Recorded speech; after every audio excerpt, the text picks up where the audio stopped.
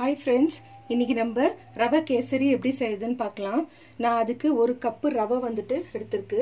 ஒரு கப்புனா நீங்கள் ரெண்டரை கப்பு தண்ணி ஊற்றணும் இப்போ இதே மெஷர்மெண்ட்டில் நான் முக்கால் கப்பு சக்கரை எடுத்திருக்கேன். அரை கப்புக்கு நெய் எடுத்திருக்கு. முந்திரி திராட்சை நான் ஏற்கனவே வறுத்து வச்சுருக்கேன். கொஞ்சம் நெய் ஊற்றி கொஞ்சம் ஆரஞ்சு ரெட் எடுத்திருக்கேன். வாசனைக்கு ஏலக்காய் தூள் கொஞ்சம் நம்ம ஒரு ஸ்பூன் பைனாப்பிள் எசன்ஸ் சேர்த்துக்கிறோம். இது ஃப்ளேவர் நல்லாயிருக்கும் கேசரி செய்யறதுக்கு. இப்போ இது எப்படி செய்யறதுன்னு பார்க்கலாம். இப்போ இந்த மாதிரி ஒரு பாத்திரம் எடுத்துக்கிட்டு நம்ம ஒரு கப்பு ரவை சேர்த்துருக்கோம் இல்லையா? அதுக்கு நான் ரெண்டரை கப்பு தண்ணி ஊற்றுறேன் அதே மெஷர்மெண்ட் கப்பில் நம்ம சேர்த்துக்கலாம். உங்களுக்கு தலை தலைன்னு இருக்கும். ரவை கேசரி ஆறிட்ட பிறகு கூட உங்களுக்கு தலை தலைன்னு இருக்கும். இங்கே ஒன் இஸ்டு டூன்னு போட்டிங்கன்னா ஆறிட்ட பிறகு ட்ரை ஆகிடும் so two and half cups நம்ம தண்ணி ஊற்றிருக்கோம் இப்போ தண்ணி கொதிக்கட்டும். இப்போ நம்ம ஊற்றின தண்ணி நல்லா கொதிக்க ஆரம்பிச்சிச்சு. கொதிக்கும் போது தான் நம்ம ரவை ஆட் பண்ணணும். ஸோ கொதிக்கிறது முன்னாடி போட்டிங்கன்னா ரவை வேகாது. இப்போ இதுக்கு நான் ஒரு ஆரஞ்சு ரெட் கலர் எடுத்திருக்கேன். உங்களுக்கு நேச்சுரலாக வேணும்னா கொஞ்சம் குங்குமப்பூவில் தண்ணி கரைச்சிட்டு கூட நீங்கள் மிக்ஸ் பண்ணிக்கலாம். இது நான் கலர் வந்து தண்ணி கொதிக்கும் போதே ஆட் பண்ணிக்கோங்க.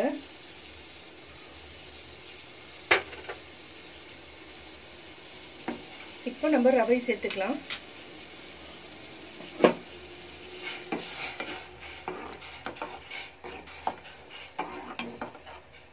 கொட்டிகிட்டே நீங்கள் கிளறிட்டு இருக்கணும். இல்லைன்னா கட்டி கட்டி ஆகிடும் இப்போ பாருங்க தண்ணி நம்ம எக்ஸ்ட்ரா ஊற்றி கூட ஃபுல்லாக வந்து ரவையில் எல்லா தண்ணியும் இழுத்துடுச்சு.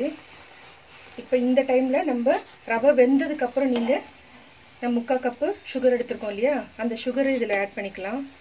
ரவை வெந்ததுக்கப்புறம் தான் சுகர் சேர்க்கணும். இல்லைன்னா ரவை வேகாது.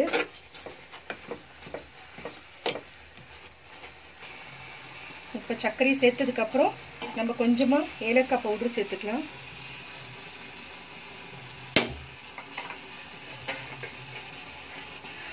ஒரு அரை கப்பு நெய் இது கூடயே சேர்த்துக்கோங்க. எல்லாம் மிக்ஸ் ஆகிட்டு வரும் அப்போ தான்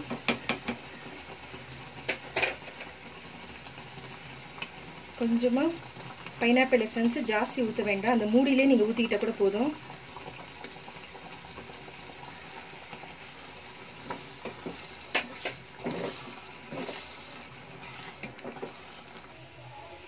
இப்போ நம்ம ஊற்றின நெய் தண்ணி சர்க்கரை எல்லாம் சரியாயிடுச்சு இதோட ரவையோட. அந்த டைமில் நம்ம இறக்கிறதுக்கு ஒரு டூ மினிட்ஸ் முன்னாடி முந்திரி திராட்சை ஆட் பண்ணிக்கோங்க. அப்போ தான் உங்களுக்கு டேஸ்ட்டும் நல்லாயிருக்கும்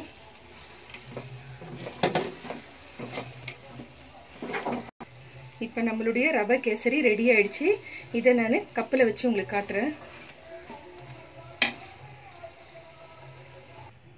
இப்போ பாருங்கள் நம்ம ரவை கேசரி ரெடி ஆயிடுச்சு. இங்கே பாருங்கள் எவ்வளோ சாஃப்டாக இருக்குது இது நீங்கள் ஆறிட்ட பிறகும் இதே சாஃப்டாக இருக்கும். அதுக்கு தான் எக்ஸ்ட்ரா வந்து அரை கிளாஸ் தண்ணி ஊற்றுனது இதே மெத்தடில் நீங்களும் வீட்டில் செஞ்சு பாருங்கள் பிடிச்சிருந்தா லைக் பண்ணுங்கள் சப்ஸ்கிரைப் பண்ணுங்கள் தேங்க்யூ ஃப்ரெண்ட்ஸ்